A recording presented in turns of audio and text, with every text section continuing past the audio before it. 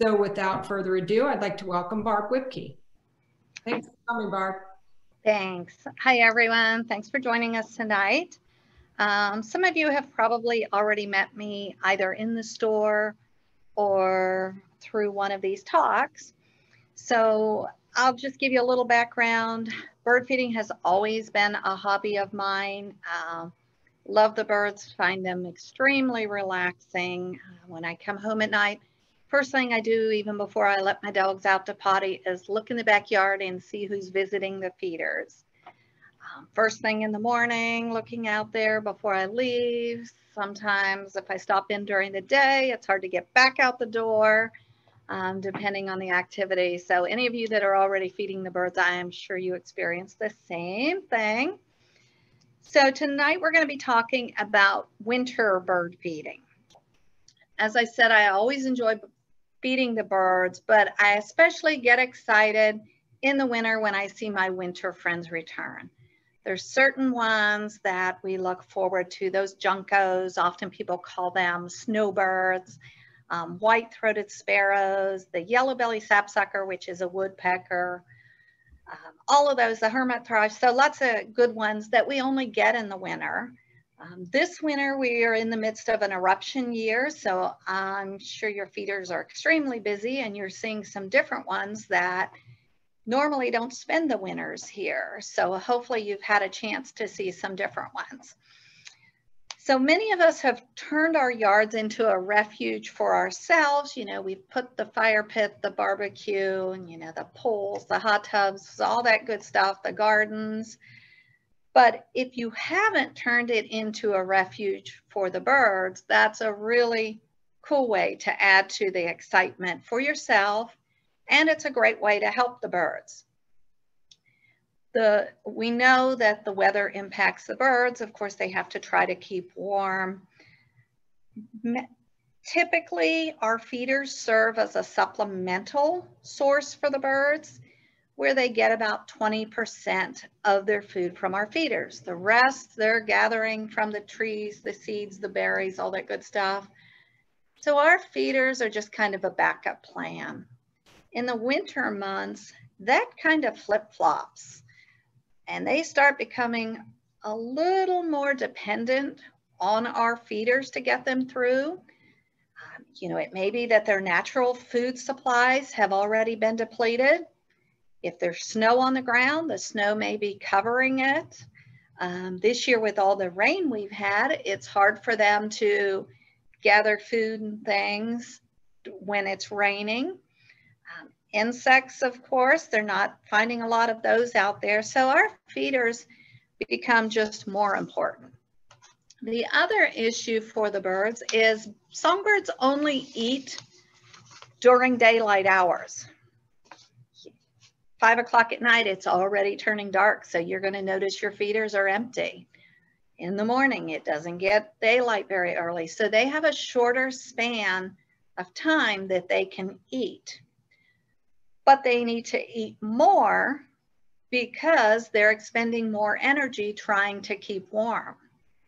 So the way we can help them through that is keeping those feeders full a songbird can use up 75 to 80% of their fat reserves in just one winter night. So then during the day, overnight, they've burned up 75 to 80% of that fat that they reserved. Now they've got that short window in the day to replenish that to get ready for the next night. So they can be a day or so away from starvation at any time. So your feeders are definitely more important to them than any other time of the year. So the first thing you're going to want to do to create that refuge in your backyard is obviously have feeders. So check those feeders out.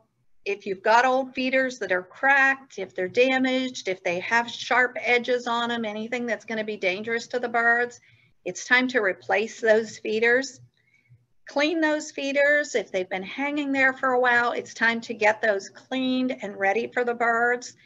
Um, one of my favorite feeders, I've got one of them here, is actually our EcoClean feeder.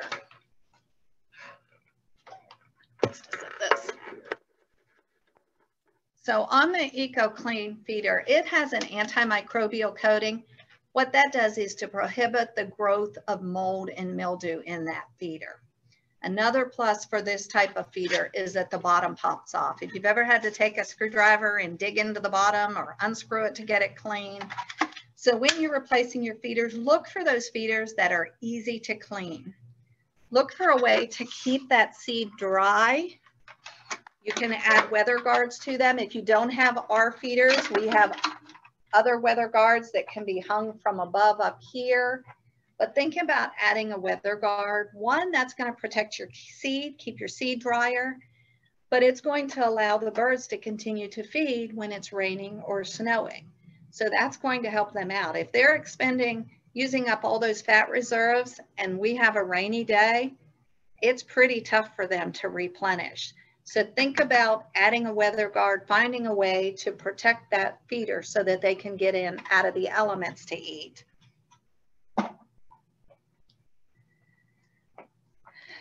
Hanging feeders, it's great to have a variety of feeders. So if you can see, I've got some here that are hanging feeders, but also adding tray feeders are another great way this tray feeder, you can see we've got a roof on it. So again, if you already have a tray feeder at home, take the measurements of it. If you don't have a weather guard for the top, take your measurements and stop in and we can help you hopefully find one that will cover that to help you out there. Um, or if you can bring that in under some type of roof or something to help protect that.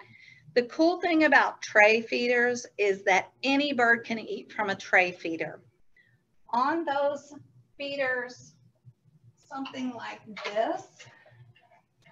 It's a cool feeder, but our birds, like our cardinals, which everybody of course loves, cardinals have a short, thick neck, so they can't land on a perch this way and then turn sideways to get into the port. They need to eat forward facing. So in this case, what we do is add trays to them. So then that allows them to land on the tray and eat. So check out your feeders. Make sure that your feeders have a spot for those cardinals, juncos, white-throated sparrows, some of those birds to be able to land on a tray and eat from it.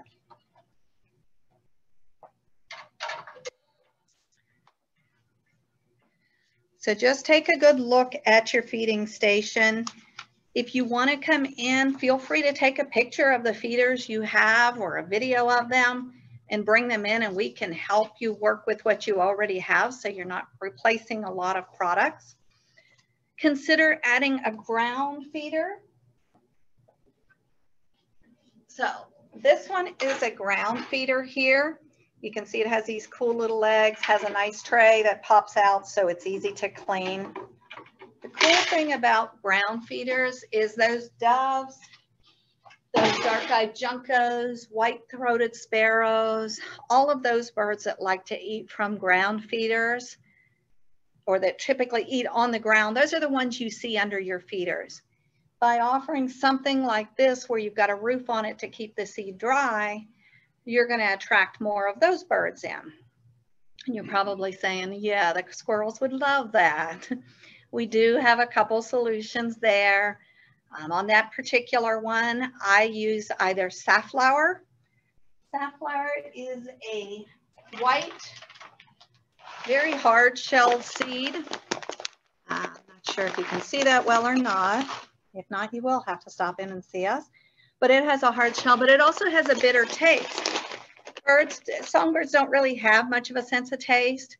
Squirrels can taste, so they typically don't like that. With that said, if they're desperate enough, they will eat safflower. At my house, I have one or two that will nibble on it, but it really slows them down. So to me, it's worth it. And that's safflower, S-A-F-F, not sunflower. Sunflower, your squirrels would really appreciate you for putting that one out. We also have some hot pepper seeds that you can use. Again, those birds don't have that sense of taste, so the hot pepper works really well. Safflower is very high in fat, so that is a good one to use. The hot pepper seeds that we have have a lot of nuts in it. Um, we have a suet nugget bark butter bits that again has that hot pepper in it. So those are good ways to, to be able to feed on a tray feeder or a ground feeder that's not baffled. Uh, da, da, da. So when you're putting that tray feeder, you want to put it, I'm sorry, the ground feeder, you want to put that about three feet from some type of bush or covering, somewhere where when a hawk comes by, a neighborhood cat, something like that, that those birds can quickly get to shelter. Unfortunately, this time of year, when there's not many lizards and frogs and things out there for the hawks to eat, they too do turn to our birds a little more than we would like to see. Um, the positive in that is when you have a hawk there, he's catching the older, the weaker, the sicker birds. So he's keeping your bird, seed, bird feeding station healthier. It's not hard, not easy to see, I know, but if you think of it that way, he is keeping it healthier for you. So, but just have that bush or something, you know, it can be if you've got a porch that has a covered area, just someplace where the birds can dart away to get to safety. And then foods. We want to think about changing the normal foods that you're feeding. We want to add a lot more of the suet products, which are high in fat. So things like the typical suet cakes, you've probably all seen these and tried these. Suet's a great way to feed. Um, this particular one is our super suet, highest fat, highest protein on the market. The ingredients on it, number one is the suet, then it's peanuts, mealworms, almonds, pecans, walnuts, and then we add some calcium just for to give the birds an extra little boost, helps them in the development of eggs and that as we go into the spring. So super suet's the best one out there. Hot pepper super suet. Again, keep those squirrels out of there. We've got the hot pepper on that. So definitely you want to increase the suet you're offering. I feed suet in multiple formulas. I use the suet cake, bark butter. Probably a lot of you have tried the bark butter, coolest product ever. Um, kind of looks like peanut butter. You basically use a fork and you can spread it right onto a tree. We have feeders you can put it on as well. Um, I put it right on a tree and all the little crooks of the branches on the side of it. The birds absolutely love it. Again, I use, this is the regular version, but we have it in hot pepper. I use the hot pepper version because I have lots and lots and lots of squirrels. Um, they, uh, the other day I watched a few squirrels running, playing tag right through the bark butter, never once thinking to stop and eat it. So um, definitely a good option. This is another form of suet. It's basically the same product as those squares we're all familiar with, but it comes in a round formula. The nice thing about that is it's much bulkier, heavier, it's going to last longer. So you're not going out there changing it as often. And it can go, we've got several different feeders it can go in. This would be one example of it. This one is made to look like a log. You just drop it in the top there. And it has different size holes on it based on the different woodpeckers that we have in the area. So that's another way to offer suet. Then the bark butter bits I talked about, that's that same product as the bark bitter, bark butter, except it's just in a different formula. So that's the bark butter bits. That's a tongue twister. And then we have the buggin bits, which is again, it's those bark butter bits, but it's mixed with dry mealworms. Dry mealworms are another one that's high in fat. So offering as many types of suet as you can is beneficial. So find it, you know, if you don't have the feeders for it, then think about using the products, you know, the bark butter that you can just spread right onto a tree or a fence post. But just really look for ways to increase that suet. Um, then foods. So I recommend in the winter months looking into using some of the foods that are already shelled. So, grab this particular one is a No Mess Plus formula. So what it is, it's sunflower chips, it's peanuts, tree nuts, cranberries, cherries. So it's a good variety of food.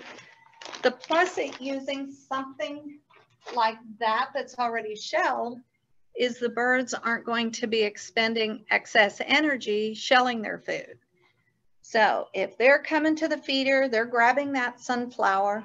Now they have to go hang out in this tree and shell it so that nobody sees them and comes in and snatches them while they're eating. Then they come back, you know, they get that little tiny nut out of there, come back again. So they're just expending a lot of energy doing that. So by doing the no mess, they can come right to the feeder and eat quite a bit just hanging out there. The plus for us is we get to see them while they're hanging out there. So instead of them going off to the tray, you get to see them at your feeders a little more. Uh, another great one is a winter super blend. This one has already been formulated. It has all of the high fat stuff already in it. So you can use it alone. You can mix it with whatever seed you're currently using. Just kind of use it as a supplement for them. That's a great way to do that one. That one also comes in a cylinder feeder. If you're not familiar with cylinder feeders, these have a hole in the center and then it's as easy as you can just take a feeder, something like this, pop the top off. It has a little rod in the center and you just slide it on. Again, the positive with that is it's going to last you for a while. So you're not going out there in the cold, changing your feeders, adding food every day.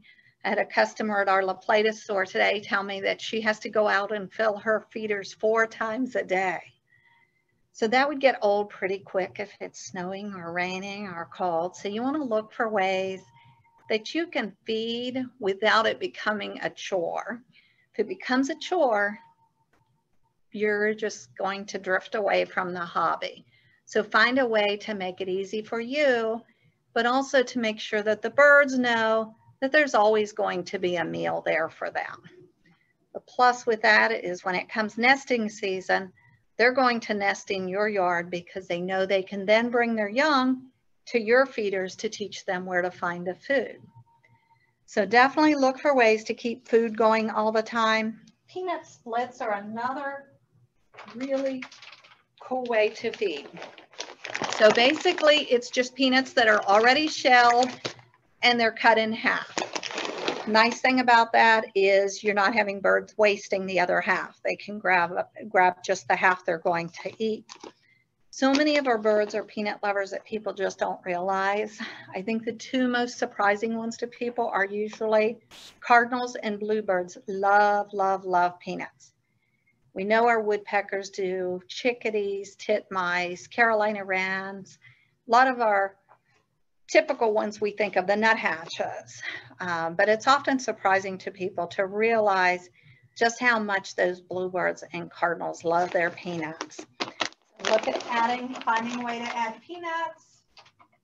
If you've got a pole system that you have a baffle on, that's the easiest way to be able to feed the peanuts and the foods without worrying about the squirrels. The key to that is you want a pole system that you can put somewhere that you have a 10 foot clearance around it. That's anything the squirrels could jump from. Then you need to make sure that that pole system is high enough that when this feeder is hanging down, you can put a baffle at about five feet and the feeder is hanging above that. What that does is when you've got that baffle, the squirrel can't climb up the tree and get to it. You've got that 10 foot so they can't launch themselves onto it. And the baffle keeps them from being able to just jump from the ground up and grab it. So the baffle would go at five feet. The feeder needs to hang above the top of that baffle. So check your poles. And if you've got poles that are high enough, we have aftermarket baffles that we can put on those but just check your feeders, measure them, make sure that the bottom's going to be above the five foot mark. And if so, you can grab one of these baffles, add it on. Then you're going to be able to add peanuts, whatever you want. I feed peanuts in the shell, out of the shell. nut mixes, fruits, everything, and never have to think about it. But it wasn't always that easy. Let's see. So black oil is a good seed to feed in the winter. It is very high in fat. So it is also one that you can feed. Um, you will see the birds taking it and storing it away. They'll put it in little crevices, barks of the trees, things like that. They prefer something with a shell if they're going to store it away. So definitely in the fall, we recommend to customers using something with a shell. Safflower or black oil are the go-to because that allows them to store up for the winter. At this point, they're not so much storing, but it's survival at this point. So you can do the black oil, but it's not as beneficial as it would be in the fall when we're allowing them to store it up. Peanuts, let's see, did I miss anything? Like I said, those suet cylinders are just a really cool way to feed. This is another style of that feeder. Pops off here and you just drop the cylinder right onto there. We even have really cool characters. This one is Buttons the Snowman. So he would just drop right on there. And so it looks cute too while you're watching the birds eat it. We even have one that has a, well, we have two squirrels. So the birds can get the revenge. Um, but one of those are in hot pepper. So the squirrels tend to not be interested in that one. So we've got the food taken care of. We're gonna make sure we keep those feeders filled and cleaned and keep an eye on that we want to give them roosting spots. So birds need to find places to roost for shelter. You may notice if you've got a porch that's covered underneath, as you walk past the sidewalk, you'll hear lots of scurrying under there. They tend to use those a lot. Um, roosting pockets are another good one. Just something as simple as this little piece here. I hang these on my front porch where my hummingbird feeders typically are and I have a Carolina wren, actually a pair of them that sleep in it every evening at dusk. We see the two of them go in there together. Carolina wrens really like to be close to our houses. So hanging, if you get these ones for the wrens, I recommend hanging them close to your house somewhere because they really, they're the ones you're gonna see making, hanging out at night on the ledge of the porch or over the light or something. So this just gives them a place to hang out. Same concept here. This one is a gourd that you can use. You can use decorative houses, something like this. That one has a clean out port in the back. These ones are kind of cool that they're made out of recycled houses and barns out of Illinois, so that's fun. But any little things like that. And then for our ones like our bluebirds, our larger birds, your house that you would use for nesting, leave those up. I know we used to be told, oh no, take them down in the winter. I have about seven that are living in one of these houses. They just pile up in there for body warmth. And that's the bluebirds I'm speaking of. They will pile up there for body warmth. Come late February, one of those pairs will decide they're going to nest in here and everybody else gets the boot on that. So this one, if you're going to put a house up, I recommend looking for a few things. One that you can get into easy when they're nesting, one that you can clean. In fact, right now, go out if you've got houses already up, check them out. If you still have last year's nest in there, pull it out. If you go out and there's just a little bit of pine straw or something in there, it's doesn't look like it's been nested in, you can leave that. I would say somebody is probably roosting in there at night. But if it appears that there was a nest in there, go ahead and clean that out. Just pull it out, use a paintbrush or something and brush anything out of it so that they can use that to roost in at night. A lot of, we start hearing about December, January, people, the bluebirds are already checking out the house. They're actually looking for a spot to roost in at night. So that's what they're doing. So go ahead. Uh, when I, people ask me, when's the best time to put up a bluebird house? My answer is always yesterday. Bluebird houses are beneficial to our bluebirds year round. Bluebirds do not migrate. They stay here with us 365 days out of the year. So definitely get those houses up sooner rather than later. We recommend not putting them on trees. Snakes and raccoons will go right up a tree into there. This time of year, hopefully the bluebirds would know ahead of time the snake is coming, but when they're nesting or they've got eggs in there, that's not gonna be an option to get the babies out in time. So when you're mounting those bluebird houses, mount them on a pole with a baffle, something like this, what we call a stovepipe baffle. So it's a very, very long one there and that prevents the snakes or raccoons from being able to get up into your bluebird houses.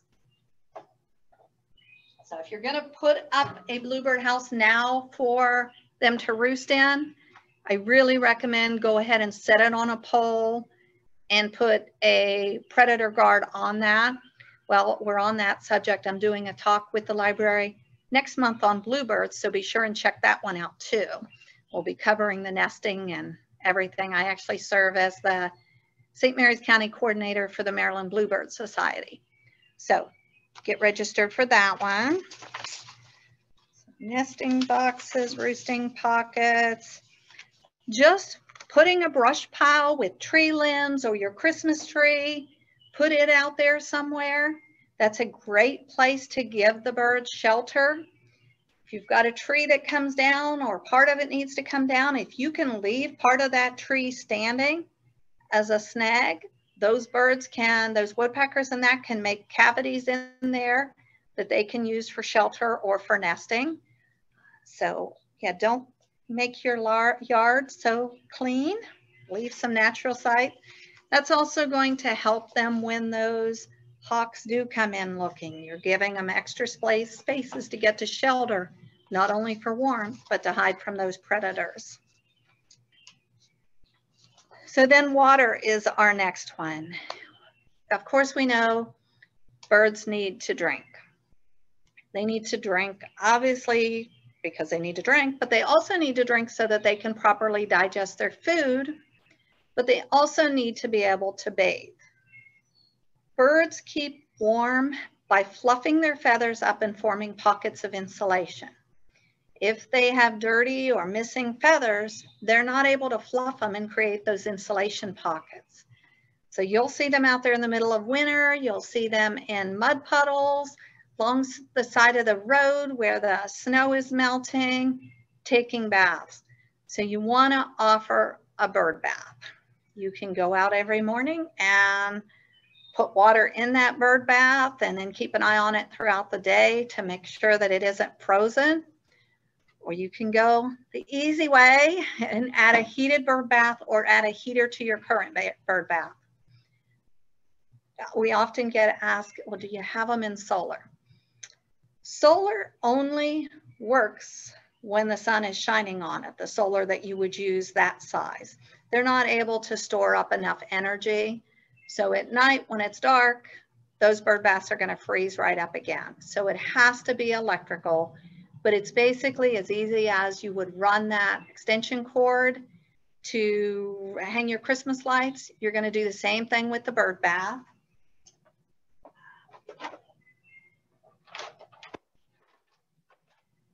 We've got a couple different style bird baths.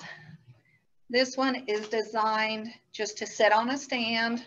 The heater is all internal on it, so you're just going to plug that in they are not, it's not going to create a sauna for your bluebirds or your birds.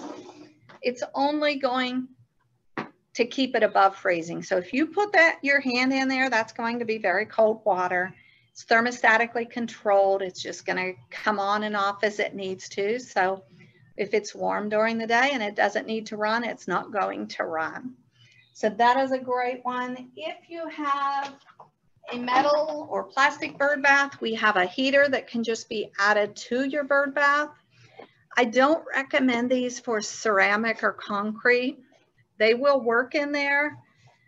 The concern is if we have a power outage, if a squirrel chews through the line, knocks the bird bath out or the heater out, or a deer knocks the heater out, that water is still going to freeze and it's going to, the ice is going to crack your ceramic or concrete bird bath. So in that case, if it's ceramic or concrete, I recommend taking the bath part in so it's not going to hold water. Um, we do have some plastic ones that you may be able just to add to your current stand. Plastic will do the same thing. It's going to crack if it freezes. It's just a whole lot cheaper than replacing an entire bird bath. So check that out. Um, if you've got a wooden deck, we have one that mounts right onto your deck rail. We don't recommend it for the vinyl, but if you've got a wooden one, it'll clamp right on there. When you go to clean it, you flip the little lever, pick it up, empty it, snap it back in place. So those are really cool because you can bring the birds right up to your windows that way. So now is the perfect time. You know, we haven't had much snow at all to speak of. We're just starting to get into the cooler weather. So use these sunny days to get your yard ready. Put out quality feeders that's going to hold a large capacity of seed or the cylinders, things you're not going to have to be out there four times a day to refill to make the bird feeding easy on you. Look for ways to keep those feeders dry and clean. Make sure you're keeping those feeders full of high fat food and then be consistent with your feeding. Don't let those feeders run dry. The birds will find another place to eat, but it is tough for them this time of year. So this is not the time to decide, oh, I'm not going to feed them this week. Um, try to keep those feeders going if you can. When we do get snow, one thing you're going to see is a big mass of blackbirds move in. When that happens, a couple things you can do. We have cages you can put on feeders. That safflower, that was that white seed I talked about. Those blackbirds aren't able to crack that shell. Our small songbirds still can. It's one of the cardinal's favorite foods, actually. So you can switch your feeders out to safflower. If we have snow that's coming in, you may want to put a piece of tarp or plastic down underneath your feeders. Once the snow comes, you can pull that up and you've got bare ground under there for your birds to eat from because a lot of those ground feeders will be on the ground eating. Um, so either stamp down, if you don't do the tarp, then shovel around some of your bird feeders to give the ground feeders space to eat. And the biggest thing is not to forget the water. Find a way to get water to them, whether if you're home during the day and you're able to keep going out adding water, not hot water, just room temperature water. Um, that's a big help for them if you, we do have one more thing I will mention that we do offer if you're new to bird feeding. Normally we do a lot of beginning bird feeding talks in the store. Course, this year is kind of crazy.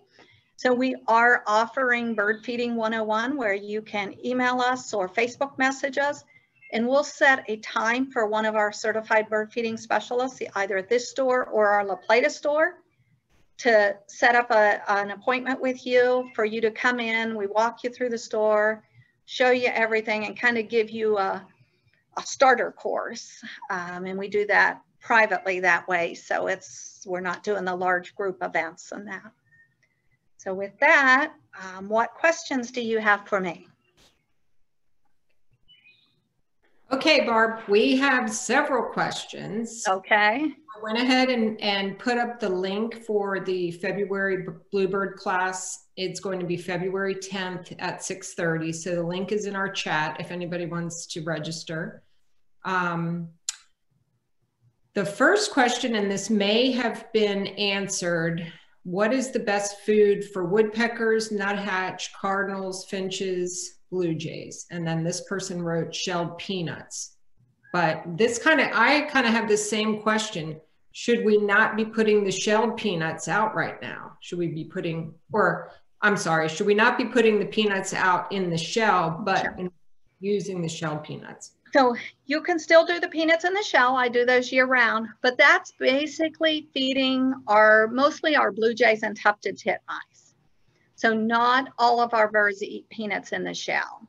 Um, downy woodpeckers sometimes will, but for the most part, that's just your blue jays and your tufted titmice. But yeah, definitely still feed those too. Uh, but then also the peanuts that we talked about, the peanut splits. You want to have those out. Um, we have several different feeders. Hey, Chip, would you grab that new acorn feeder that just came in, the one I just showed you? Um, so we have several different peanuts that you can, several different feeders that you can put those peanut splits into. Most of the birds that are, a lot of the birds that are eating peanuts are going to be our clinging birds. So this is a cute one that just came in. Looks like a little acorn there. Mm -hmm. And then those clinging birds would just hang from there. You can use the feeder, something like this that we talked about, just a regular seed feeder and use a mix that has peanuts in it. So that's going to allow those cardinals and bluebirds to eat from that. That other one is going to feed the clinging birds, the red belly woodpeckers, the downy woodpeckers, the nuthatches, chickadees, tufted titmice, all those ones. What was the name of the mix that you mentioned? You put up the bag and I missed the name. It had um, berries in it, nuts. Uh, um, that's the No Mess Plus. Okay.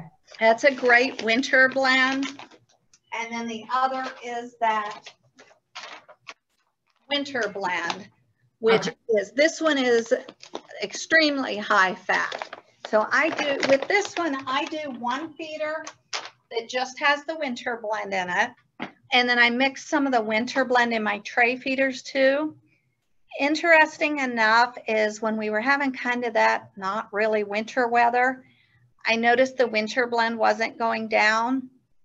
A few days before it started, we heard it was going to start turning cold that level in that winter blend just started going down.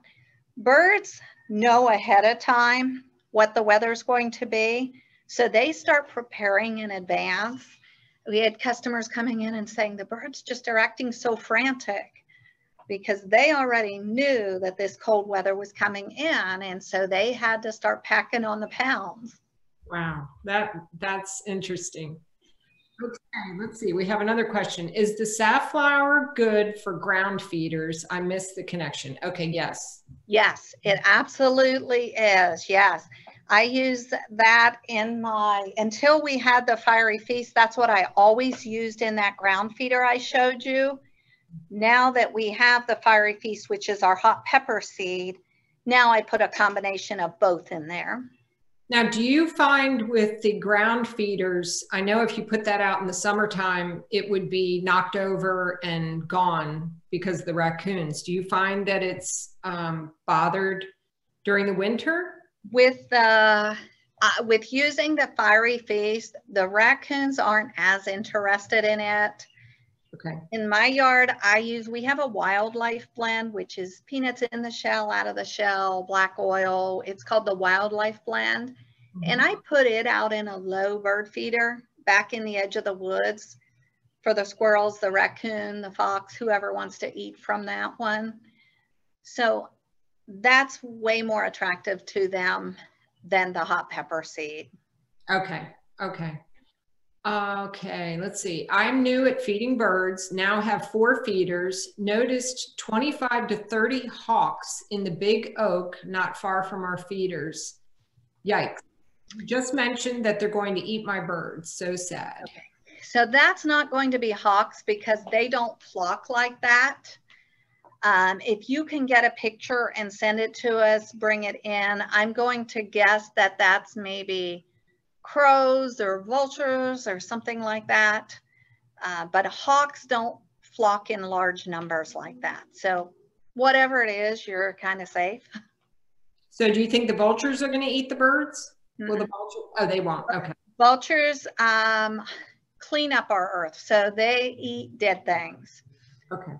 If it is vultures, they are very messy birds, um, so you don't really want them roosting around your house. What we recommend if you start noticing them coming roosting around your house is right at sunset when they're coming into roost, go out, make some loud noises, shoo them off so they don't roost there and move them on. Uh, but they typically come to our houses or come to places to roost You see them a lot of times down around the library where there's trash dumpsters. Um, they're looking for nasty stuff to eat. Okay. Um, can a cylinder feeder be a fundamental feeder? Can you show cylinder feeders and the hot pepper cylinders? Yeah, can you grab us some hot peppers, uh, hot pepper cylinder? Yeah, so I think what you're thinking is the foundational feeder. Yay, somebody has read The Joy to Bird Feeding. It's an awesome book we have here uh, by our founder, Jim Carpenter. He wrote it in 2017. It's just an awesome book all about feeding the birds. So yeah, they absolutely can be a foundational feeder. What a foundational feeder is, for those who don't know, it's that one single feeder the, the birds know are always going to have food in it. So we have plenty of customers who feed off of their decks. We can't squirrel proof feeders off the decks. Actually, we can because we have a feeder. Would you grab me an eliminator? Uh, we have a squirrel proof feeder that can be used. But yeah, this is the regular size cylinder. We have one that's about twice the size of that one. And that absolutely could be your foundational feeder. If squirrels are an issue for you, this eliminator is also another great option. This one has a weight here so that when the squirrels land on it, it's going to close down on them. It doesn't hurt them. It just closes so they can't get the food out of the port. And they tend to move on. Once they found that they can't get any reward there, they just move on. But yes, absolutely. Um, for your foundational feeder this time of year, if you're going to use it as your foundational, I would use the large size hot pepper cylinders because you they will go through the smaller size pretty quickly this time of year. As we go into the late summer, drop down to the small because the rain, humidity, those things can mold. So use smaller sizes then. But this time of year, definitely go with the big feeders or the big cylinders. Okay.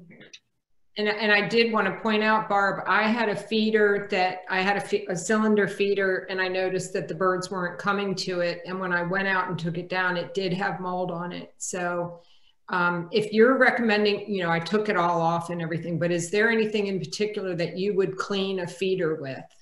Yes. If you've got mold on it, we need to clean that mold off and we need to kill kill those mold spores. Otherwise, when you put another cylinder on there or more suet in there, whatever the food is, it's going to immediately mold again because those mold spores are still there.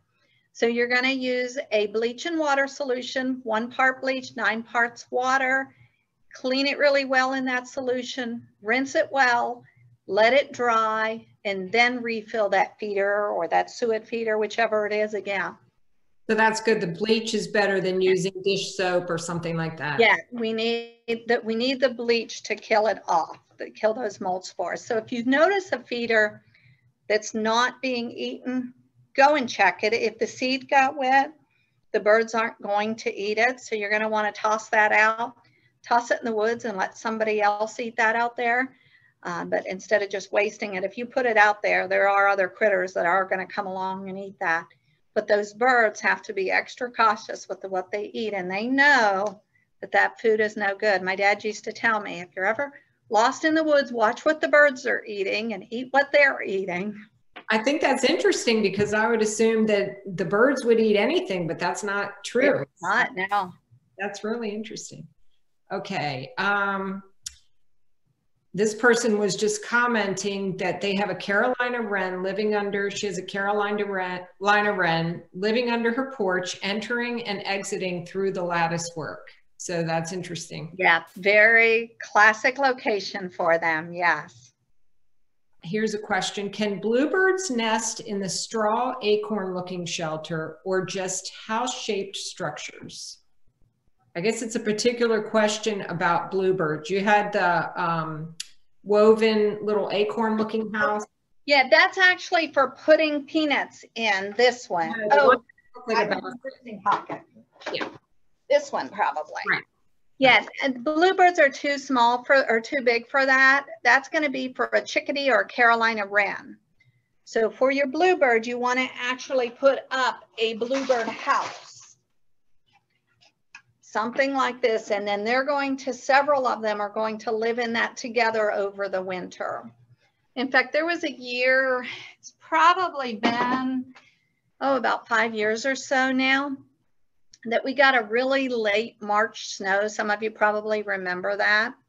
Unfortunately, bluebirds are our first nesters of the year. So they start pairing off in late February. And that year, because they had already separated in the nest boxes, it left just the male and female in those nest boxes to survive. And a lot of people went out to find that their bluebird pairs had frozen. So that's an unfortunate situation. So if it's late February or mostly early March, I would say, if we are to get a cold spell that's a surprise cold spell, a few of the things that I would have you do with the bluebird house is on the side here, we have cross ventilation because it is so hot in the summer when they're nesting. Stuff that full with like weather stripping or a rag or something like that. You can get the insulated foam and you can actually just bungee wrap that around your house to provide extra insulation for them. So if you find that come March, we get some weird weather, um, think about doing things like that to weatherproof that because most likely at that point you're going to have only a pair living in that house together. And they won't mind you fiddling with their nest or anything? No, no, they're perfectly fine with it. Okay, thank you. Uh-huh. Uh, all right, here's an, well, I put the link up about the Bluebird program. Um, would you recommend the Bouncy Squirrel corn feeder on your main bird feeding station? No, because that main bird feeding station, we want to do our best to keep our squirrels away from it. I would take your, that's our Squngee is what they're talking about. It's a really cool feeder that's like spring. It's bungee activated and the squirrel jumps on it and it just kind of bounces and spins and, and it has corn cobs on it to actually feed the squirrels. So we want to take that away from the bird feeding station. We want to pull the squirrels away from our bird feeders. Okay. Uh, let's see. Is there a weather guard for the seed cylinder finials? Yes, there is. Hang on, it's coming. this is why my husband comes by after work so he can be my go-to for these things because I can never think to bring it all. so what this person is talking about is this one that pops right on the top of our pole system. So if you see this pole system back here with the hangers, you can on the top put this and then drop one of those cylinders on top of it. So once you have that on there, we have this little roof that can be added to it. I definitely recommend adding those because on these cylinder feeders, we're usually putting them up high. So we do tend to go with the larger ones so we don't have to get onto a ladder to change it as often. So definitely put a roof on those. I have only ever one time had this one fly off. And that was that crazy wind we had a month or so ago. Uh, but normally this one stays really good and does a great job. And, and I only use large cylinders. I'm sorry. Metal, so it probably won't crack or anything. No, it's it's metal, um, has a uh, powder coating on it to keep it from rusting and everything. I noticed you had a guard on that feeder that you were showing us that works if you have squirrels. Oh yeah. Um, yeah.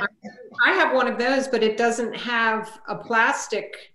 Yeah, so we can add a weather guard to that as well.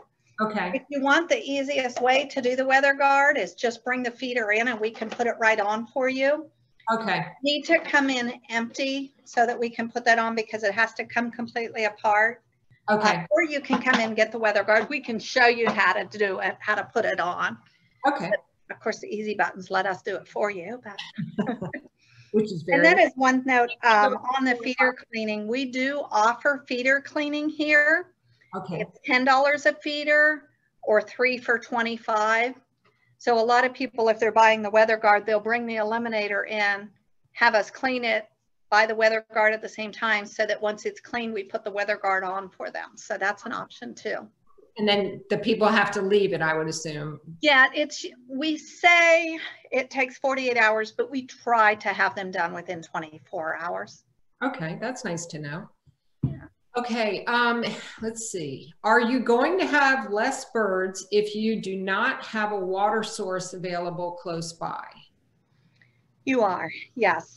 Um, definitely will have fewer birds. Um, I like to think of it as you'll have more birds if you have a water source nearby, so it's not quite so negative.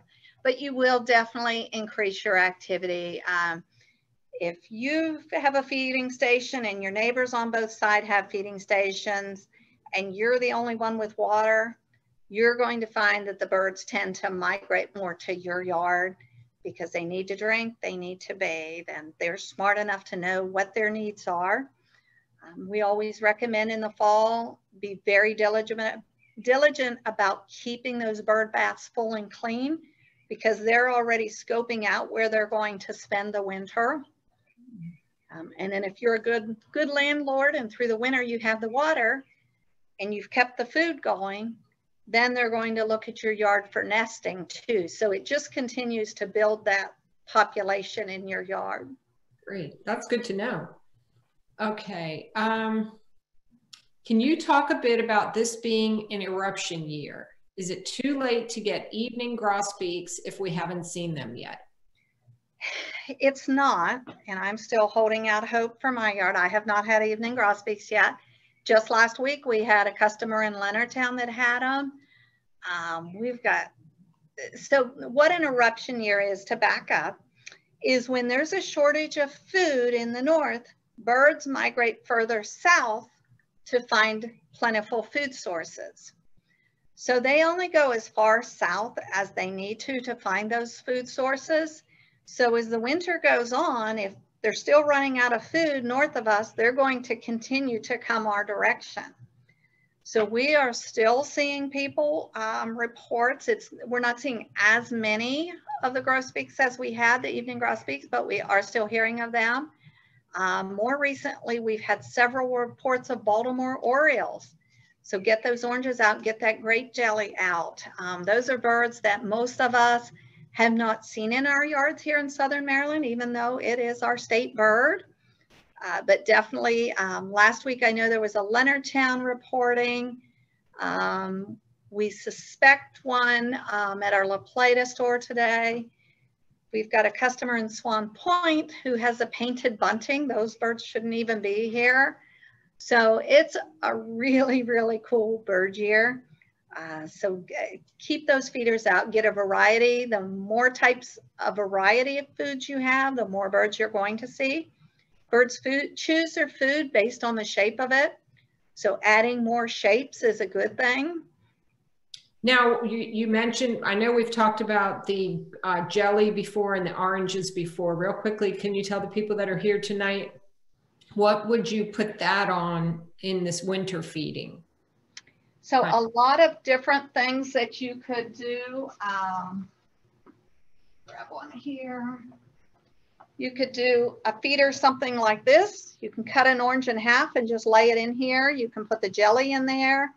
If you've got any kind of little cups, you can put the jelly in there. You can cut an orange in half and lay it on a tray feeder. Um, just about anything. Um, and they'll eat raw jelly? Well, it's grape jelly grape is the type of jelly you want to use. We sell one here um, that we recommend. It's not as sweet as our jelly. Um, doesn't have all the additives as what we do. Uh, but grape jelly is what they're looking for. Okay. Okay. That's, that's really interesting. Uh, okay. We have another question. Have you heard of Carolina wrens chasing away other birds? Hmm. I guess it really depends on what the situation. Any of them can get, any birds can get aggressive. Um, Carolina wrens will do a couple cool things during nesting season. They'll take every potential nest. They're a cavity nester, so they're looking for houses, pockets, things like that. Um, it, they pick weird nests. Um, if you have a coat hanging outside, they may use the pocket of that coat to nest in, a boot, a whatever.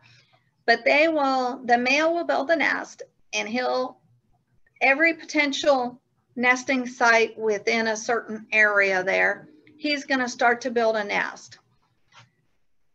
And then he's going to choose one or two to actually build up. She'll come along and decide whether, yeah, which one she wants to use. But the reason they do those other nests is to discourage other birds from nesting nearby. Okay. So that is one thing. They're not typically a really aggressive bird. I guess it, unusual. Yeah, I'd kind of need to know more about this the scenario to know to have an idea what might be going on there. Do you ever give your store email out so that people could email you a question or should that be direct? Oh, yeah, it's actually right there um, under me there, the WBU of smc at gmail.com. Okay, I'm going to put that back in the in the chat and you don't mind if people no. email you questions? No, okay. absolutely, or call us, uh, Facebook message. Perfect. Um, okay, here's another one. Have you seen purple finches this winter? I'm a newbie, so not sure if that's what I'm seeing at my feeder lately. If this yeah. was addressed already, I apologize. yeah, no, no, it wasn't. Um, I have seen purple finches. Most commonly what you are seeing is a house finch, but there are purple finches there too. Once you've seen your first purple finch, then you'll be able to recognize them. In the beginning, it's really hard to tell. The purple finch has a rounder body, whereas the house finch, it's more of a slender body. Uh, the male purple finch will also have it, it looks like somebody took this little brown and white bird and dipped it in raspberry paint. So the purple color will be more over the bird, where on the house finch, it's, it's just a small amount of red um, through the chest, um, at the tail, at the rump there. So also with the purple finch, the female purple finch, you'll see kind of white eyeliner and then under the eyes, kind of a parenthesis looking around the eyes. But they definitely are a larger bird, a rounder bird uh, than the house finch. And also the tail will have a little, a little split in the center of it. But we do have purple finches and many people have seen them, but more common, or I'm sorry, purple finches. I don't know if I said that right. We're seeing purple finches. A lot of us have had them, but more often we're seeing house finches, which are here with us year round. Okay, we, we just have a few more questions. Um, what's the difference between male and female Carolina wrens? There's, it's not one that you can really notice. Um, the easiest way is the one that is singing the loudest is the male. Okay, that's that's good. Uh, let's see. Do any other birds eat oranges and jelly besides the uh, Baltimore Orioles? Yeah, good question. Absolutely. Um, our bluebirds love jelly. Any of our birds that eat berries will also eat the, the jelly. Carolina wrens love, love, love that grape jelly. Um, mockingbirds love the oranges. Red-bellied woodpecker loves the jelly. So yeah, even if, if you put that jelly out, brought me a bottle of it here. Here it is, the birdberry jelly here. But if you put that out, and even if you don't get the orioles, there are plenty other birds. You're going to put out just a small amount um, because you know you're not going to want to fill up a whole container of that. You'll put a small amount of that out daily but there are other birds that will come in and find it and eat it. Will um, with the oranges, do you have do you do it in slices or a half an orange? I just do half of an orange and then just lay it down, you know, with the open side up in a tray feeder. Um, you can use that cylinder feeder we had. You can put it in there. If you've got our feeding station, hang on a second. If you've got one of our pole systems, we have this branch that can twist onto it and then you can drop the orange right in it, just kind of wedge it down in there, squeeze it in there and pop it in one of those leaves. And do you need to watch that or or say to yourself, well, it shouldn't be out there for more than four days or, you know? Yeah, uh, you're during the winter months, you're not going to have to watch it as much as you do in the summer and that. Um, in the summer, I'll even see butterflies on my oranges. So Okay, so it's good to yeah, have. in the winter months, the most it's going to do for the most part during normal cold weather. If we get warm weather, who knows? This is Southern Maryland, right? um, if we do get warm weather, you, I would check it every three or four days. Okay, and then this person said, is it too early to put the Oriole feeder out that I got for Christmas? So obviously we've talked about that. It's- Yeah, no, that's what we're telling people. Put those Oriole feeders out. So typically the Baltimore Orioles used to migrate much further south. We're seeing more and more often the last several years, Virginia Beach, Chesapeake, Virginia, they have had Orioles all winter long. So I think we're just slowly starting to see it grow this way that, you know, we're not getting the winters like we used to get. Okay, and then this is the last question. It relates to the Orioles. Um, do you have to place the feeder in a certain place? It says, where do you place the feeder? Nope, you can put it right. So that branch I showed you, Uh-huh. you can hang it off the pole system and then from those leaves, I just hang my Oriole feeder right from that. Okay, okay. Well, that's, I think, let's see, one more last question. Do we have mockingbirds in Southern Maryland? Oh, yes, we do. We sure do. Um, if you are, I'm back in the woods, a very treed area off by myself. The only time I see a mockingbird is when we get an extremely cold spell where they're desperate. If you are in neighborhoods, you're going to see them more often. Um, you see them a lot in parking lots and that around. Um, often you'll catch them as they fly. You'll see, you know, you'll see this gray bird and as it flies, you'll see the white on the wings. And that's going to be mockingbirds. But yeah, we definitely do. Okay, and then, um, Grab me an Oriole feeder. yeah, what is an Oriole feeder? You got that. Yeah. I saw that one come through. Hang on, we're going to grab. Um, we've got some different things you can use for an Oriole feeder down on the bottom under the butterfly feeder. One person, while you're getting that, Barb, just said that they saw a Wawa, I saw a Wawa, saw a mockingbird at the Wawa across from WBU last weekend. So- Exactly. Yeah. So, and mockingbirds are kind of cool that they obviously mock. But when you, if you're outside and you hear, they mock all sorts of sound, car alarms and trucks beeping and other birds, but they tend to mock in three notes. So if they hear, uh, if they're, you know, it's a car alarm and it sounds like beep, beep, beep, or let's say beep, beep, they're going to do that beep, beep, beep, beep, beep, beep. They're going to do it three times. So that's a good way to tell if you keep hearing this sound that is repeated three times, that's your key that it's a mockingbird. That's.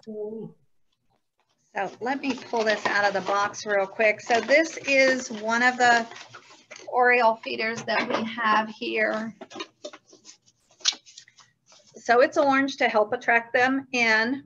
So it has a stem that comes up like this. You can cut that orange and place it right here. So it would be sitting this way with the stem there. It's got little cutouts here that you can put the jelly in. And then you can mix a sugar and water if you want into the base of it there. And Yeah. that's okay to put out, that won't freeze and crack or anything? Or it shouldn't, I guess. If we're, if we're getting below freezing, I would mix, um, add a little extra sugar so it won't freeze as quickly. Okay, Um, or skip completely on the sugar water okay, and just go with the grape jelly and the oranges. That's good to know. Well, I think, I think that's all the questions, Barb. I- We could probably keep you here all night asking questions and listening to you talk, you know, about all these interesting birds. So I think we'll let you go now, but I really appreciate you joining us and thank you to everyone who has signed on tonight. Be sure to go to the um, St. Mary's County Library website and click on the link for Barb's program on February 10th. And you can join us next month for some more bird information. Thank you, Barb. Thank you. Thanks, everyone. Have a good evening. This was. Thank you. Wonderful. Thanks a lot.